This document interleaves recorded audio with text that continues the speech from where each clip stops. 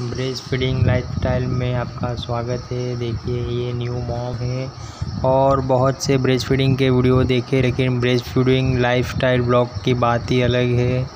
ये हमारा new born baby breast feed lifestyle blog है।